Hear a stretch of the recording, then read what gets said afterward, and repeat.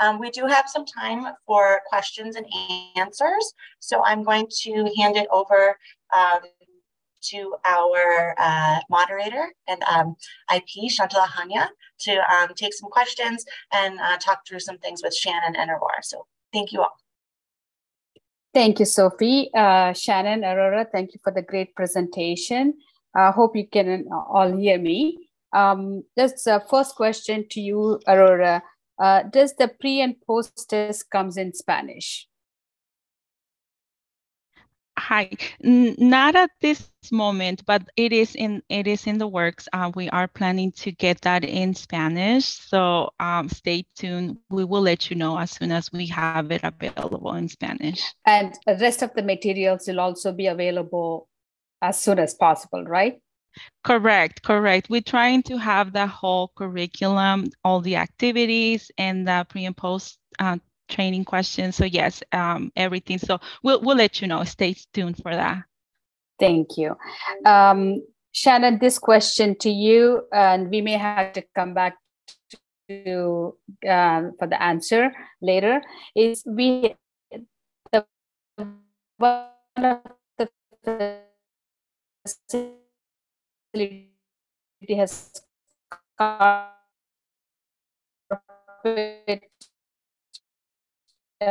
uh, in the uh, resident room, what's the best practice in the C. diff uh, situation?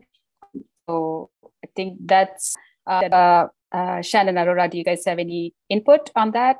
If not, we'll bring it back to the office hour. I think we we should take some time to look more deeply into that question, Shantala, and bring it back. Aurora, do you have anything? when it comes to carpet specifically? No, I agree. We'll, we'll bring it back in the office hour. Yes, we'll we'll get the EPA registered product or to whether the steam cleaning. What is the recommendation? We'll work with CDC to make sure we address that appropriately. Um, the next question, uh, Shannon, is uh, keeping the toilet brush in the resident room. Do we have? Uh, do they need to? Um, uh, is there any recommendation that they can uh, uh, keep the toilet brush in the room or uh, can they bring it back to the cart? Um, so if you can address that. Yeah, um, I believe it should be brought back to the cart, but stored properly um, so that we don't provide any more cross contamination. Um, do you have anything to add with that, Shantala? I'm not sure exactly for policy why I think what that I, recommends. I agree, Shannon. I think the uh, facility has to have a policy and procedure. They also need to do a risk assessment for their building. Uh, for example, if you have a dementia patients in the room, uh, so in your facility, right, especially the memory care unit or the dementia patients in a regular room, so you don't want to keep anything which uh, can affect their safety. So when you have a licensing and certification visit, they look at your policy and procedure as well as your uh, uh, patient criteria. If there is anything uh, when you leave it in the room, will it affect uh, the patient's safety? If there is no safety issue, you can leave it as designate the toilet brush in the room. So again, so look mm-hmm. at your uh, policy, policy and procedure and do your risk assessment. And we have seen buildings where they have kept the uh, uh, toilet brush in the bathroom, uh, designated to the bathroom, especially uh, uh, isolation patient room. And if you also can use the uh, disposable ones for the isolation room, if you're disposable heads. So there is a several options you have. but we can go if you have more questions. So send uh, all your questions to our way. We can address for pertaining to your building. Uh, the next one I have is, uh, um, okay, where's the, I think there are several questions coming up. Let me go back to the chat, uh, Shannon. Okay, so uh, let's see. So question is, for uh, okay, false lashes. Okay, so this is something which is, uh, the question was regarding the uh, uh, EVS staff having false lashes and facial piercing on EVS staff. Uh, this is an infection control issue? Not really. Uh, nails over half an inch is a different one. Uh, but I think we can bring back that to uh, in for the individual, so we can address that how to manage. Uh, so um, Aurora, this question to you, my dear, it's a discharged residence room pillowcases sent out to the laundry. Um, but what is the proper way to clean those pillows? Um, I'm not sure uh, about that one. Do I you have any feedback? Uh, uh, I have uh, some feedback, and then we can again we can bring it back if that doesn't really our answer doesn't address your question. Uh, so uh, this is based upon the type of pillows, right? So the pillowcases, whether whether it is um, some of many of them has. the cotton pillowcases can be washed, so then then you can go through the laundry so that'll be a, uh, they have a good process. So then it should not be a problem. It all depends upon what material you have. Chandana, if you want, if you have more questions pertaining to, so to give us more detail, uh, reach out to the email which we are going to uh, share with you. Uh, then we can address, our team can address. Um, so think uh, the next one is, uh, okay, I hear that again, it comes back to a lot of question comes up on uh, toilet brush, I think we address some of them. So we may be able to address again in our uh, office hour uh, more. Um, uh, then the question is, um, can we use the toilet mop between the patient room with iso any isolation? So Shanna, this question for you. Uh, can we use toilet mop between patient room with any isolation. So I'm, I'm, if I'm understanding correctly, Wana, you're asking question is if um, if you have a two patients in an isolation, two different rooms, uh, two different isolation room, using the same toilet brush or to, or the toilet mop, is that okay? So if you can come off of mute so Shannon can understand the question to address, that'll be great.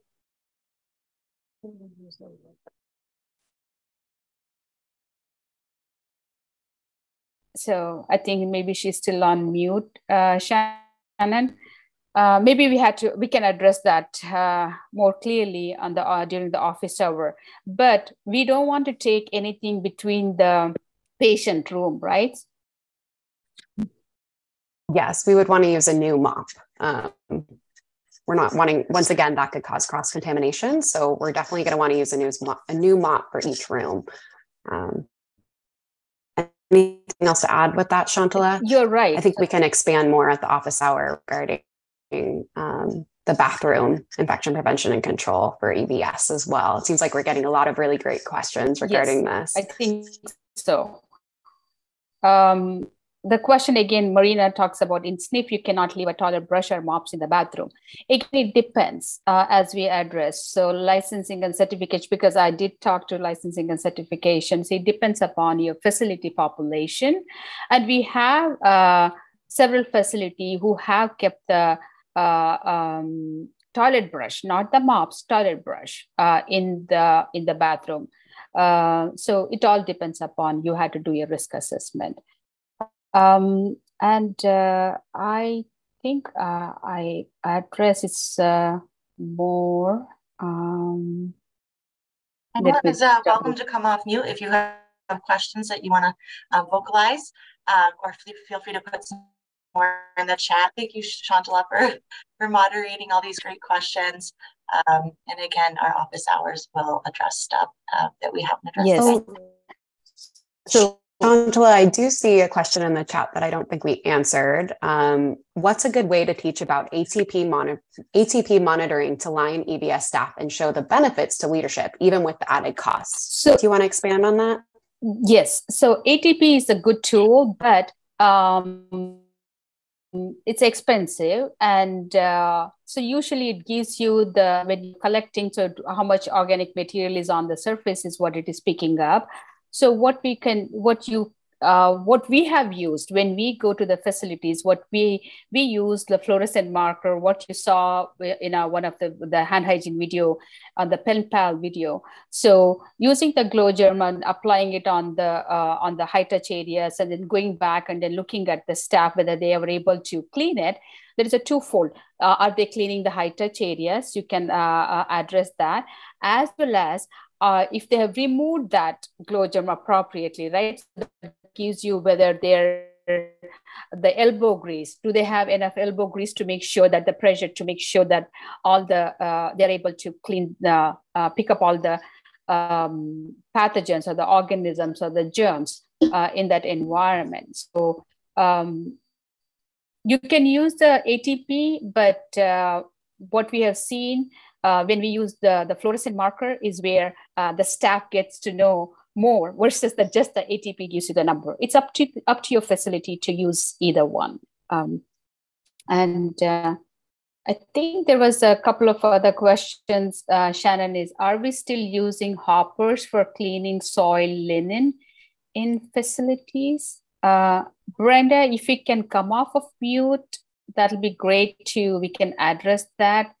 Uh, because I'm not understanding. So, are we still using hoppers for cleaning soil linen in the facility? So, the some of the questions. Hello. Go ahead. Go ahead. Sorry. Um, so yes, our facility um, has gone back to using cloth wipes and now they're wanting to um, use like the hopper for rinsing prior to it going back to EVS for um, proper cleaning of the linen. So understanding is that uh, your staff, your facility is using the cotton cloth, the, the, the towels to to clean the rooms. No, to clean, th- this is not regarding EVS um, cleaning, it's to patient care. Okay, so patient care. So like, okay, um, maybe I did not understand the question. If you can repeat one more time, Brenda, if not, so we can send us an email, we can address that.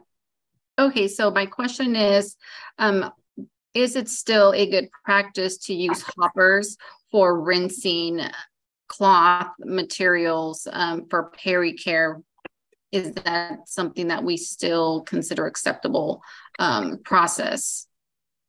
Um, that's not a good idea but uh, see where how uh, uh, the environmental contamination you're looking at right? So then to especially um, uh, when you're using why they're using anything which is reusable is the first thing you had to see. Is it uh, is that only one one particular patient or it is how it is used? So i think brenda i think we'll take it off the line and if you can uh, reach out to uh, hai program or to uh, hsag program so then we can address that particular question pertaining to your facility that's something uh, uh, it's uh, more detail, we had to talk. I understand. I will do that. Thank you. Um, so the next question is uh, um, before um, before I let Sophie have, I have a couple of questions. Um, for LA County Public Health, that one per visitor per resident visit, right? Okay, so this is related to uh, COVID, I'm assuming. However, few visitors not following proper PPE, and it is a challenge for the staff to talk to them. And how do we do that? So I think this is more of a COVID related question, uh, but you really need to follow up with uh, LA County Public Health uh, because uh, this is their guidance. Um, uh, um, but it's uh, if you can send us an email, so we will address that how to manage the visitation. Um, then I think um, Shannon, I think it's I'm going to bring back a couple of questions which was asked yesterday. Um, I think that'll be a good one for this audience if it did, if they did not participate. One of the question was uh, uh, we recommended not to use the spray bottle for cleaning. Uh, if you can uh, just address that, why we don't, why you don't recommend uh, um, using spray bottle? Yeah, that's a great question, Shantala. So the liquid within the spray bottle, when you're spraying it, is becoming aerosolized, and that can really serve as pose as a safety risk for your staff because it can be inhaled um, as well as get into their eyes. So we really don't want to. We really recommend not using a spray bottle and using the pour bottles instead, just for the safety of your staff. Okay, thank you. Um, and do you recommend uh, squirt bottle instead of the spray bottle? Can they use the squirt bottle? Uh, we recommend that over a spray bottle, yes. Because mm-hmm. that's going to be not as aerosolized, of course. Thank you. Um, Aurora, the next question, which was asked by uh, many of them yesterday, is uh, um, should the staff remove the gloves inside the room and then can they wash their hands or you do the hand hygiene inside the room? So, or should they do they need to come off come out of the room to do their hand hygiene? Um, I believe they can um, perform hand hygiene um, after, I mean, come out of the room and, and perform the hand hygiene there. Um, and it depends too, like if the patient is in isolation, then um, you want to um, do that same thing, clean your, perform hand hygiene outside the room. Yes, um, you're but right. If, but if the patient is like in C. diff, um, you want to wash your hands and you want to do it um, with soap and water. Eh, so that would be inside the room. So um, just to make sure that for any time you have an isolation patient room, uh, what is your policy, especially for C. diff patients, right? So that's uh, you need to work with your staff. Um, and uh, the going from um, uh, Shanna, this question for you. Are EVS supposed to use uh, one cleaning cloth for the entire room or um, so? And do they need to change their gloves in between the uh, task? Yes. So we're definitely going to want to use multiple microfiber cloths in the different areas of the room. Um, remember, you want to go from clean to dirty. Uh, so we don't want to create cross contamination. So it's going to be important for staff to make sure they're completing hand hygiene within each region um, or areas of the room, as well as using different microfiber cleaning cloths. Thank you. Um, Aurora, this question was uh, uh, asked yesterday again. Oh, it is the weather is so hard. I want to. Can I keep my water bottle? At least my water bottle. So, what's your recommendation? I know we said that when you're cleaning and you know, or you're setting up your cart, you shouldn't have any water bottles. But I believe you touched on it, something about Cal OSHA, correct? Yesterday, you want to Cal OSHA. Cal OSHA. Mm-hmm. Do yes. you want to elaborate on that? Yes, uh, just because like you don't want to, whether it is for your nursing staff or for the EVS staff, so you don't want to keep any uh, uh, food or drinks or anything um, chemicals, especially the chemicals. So because of uh, exposure um, to the chemicals, though, and then the uh, safety for the employees. So you had to look at the uh, employee safety. Uh, again, you don't want to keep the water bottle next to where you keep your urine specimen on the counter, right? So, or to other supplies. And then the, again, you all know how this, uh, the residents will come, they'll be touching everything. And then you don't want to have your uh, disinfectant next to your water bottle. So the Cal OSHA recommendation is safety for yourself. Um, Shannon, the next question came up was uh, um, microfiber cleaning cloths versus cotton cleaning cloths. Um, can you address that, please? Yeah, so I think we recommend using microfiber cleaning cloths over the cloth. Um, it, just for best practices, they provide really great friction and also work better with the chemicals that you're using. Um, do, you, do you want to expand upon that at all, though, Shantala? Uh, yes, I think it's the, but yeah, part of it is we uh, also discussed yesterday is uh, um, some of the chemical products, right? So when you're using the the product so then that may bind to the cotton towels. So then you may not uh, get the efficacy. Uh, for example the quaternary ammonium. So you have uh, you're spending more uh, money on the product but you feel like oh uh, why do i have an uh, mdro issue in my building? So then you will be looking at, okay, is that your tools, what you're using is appropriate? Yes, you uh, you have the disinfectant, but when it binds with the uh, cotton material, so then there is efficacy is gone. So then you're really, you're just cleaning the environment, not disinfecting. So disinfecting, you're not really killing the germ, uh, any germs. So uh, that's the uh, guidance. Um, and yes, some of uh, some of us uh, did go changing that process and then it takes some time and also when you're using the microfiber cloth you also need to look at uh, um, how many uses you can uh, do right? So then after certain uses every time every time it uh, you're using it and then send it to wash so when it comes back so then you will start looking at the material start thinning out on the, all the fibers will be gone. So is that effective? So so those are all the things you had to uh, look at. And um, uh, Shannon uh, also like I'll I'll go back to this and since we are talking about the microfiber cloth.